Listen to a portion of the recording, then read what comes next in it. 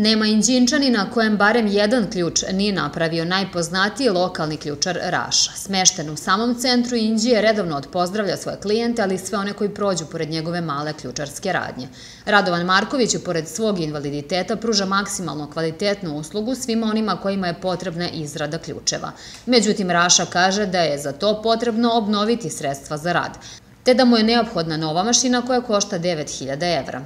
Javljam se Sveti Vasilije u snu i on mi je rekao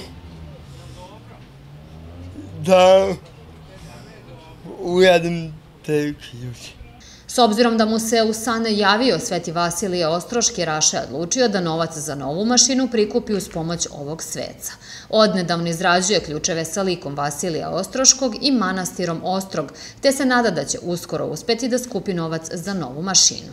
To su ključe koje mogu da budu i, i kao Slovenije, a može da bude i i kao ključ na jeze.